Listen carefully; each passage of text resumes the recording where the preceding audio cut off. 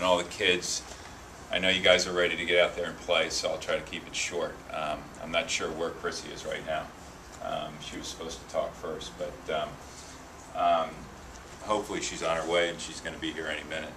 Um, Last year, this, is- I mean, I'm looking around the room, and last year, I saw a lot of different faces. I think we graduated 15 or 17 kids, and then a, a number of other kids didn't return.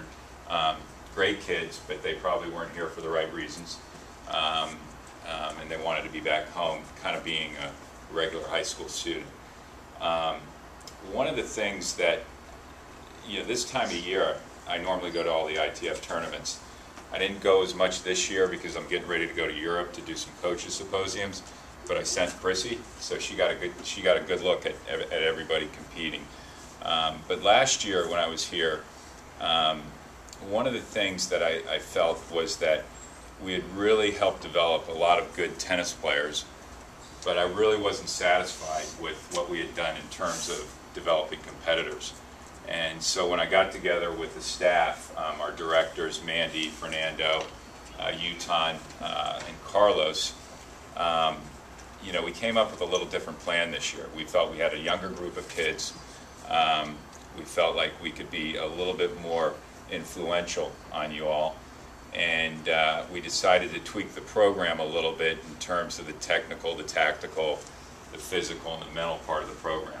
Um, and we balanced the technical part into trying to put you guys more into competitive situations, which created a little bit more of a mental challenge, um, created more decision making, um, where you could learn the tactics of the game under pressure.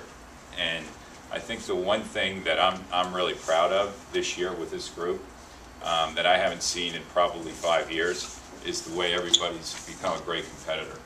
And really, that's what it's all about. You know, that's what's going to help you out, not only as a tennis player, but as you move on into college, maybe onto the pro circuit, but most importantly in life.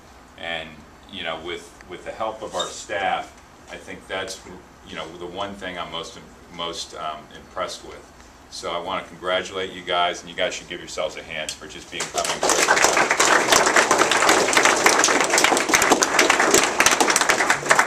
In, in saying that, I know a lot of you are coming back this summer um, to get ready for some tournaments.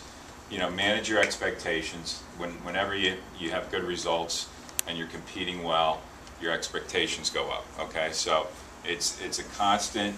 You know, there's constant peaks and valleys. Okay, you're you know the thing about tennis is that it's not like school. It's not like academics. In all due respect, whoever's here at academics, you can prepare as as well as you can possibly prepare, and then when you get out there and you're across the net from your opponent, everything can go wrong. Okay, because there's so much emotional and mental uh, involved.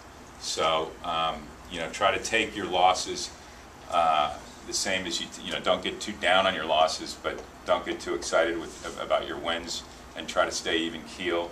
Good luck this summer. I know most of you uh, are coming back. Um, I think we've got about 85 to 90 percent of you signed up for the fall.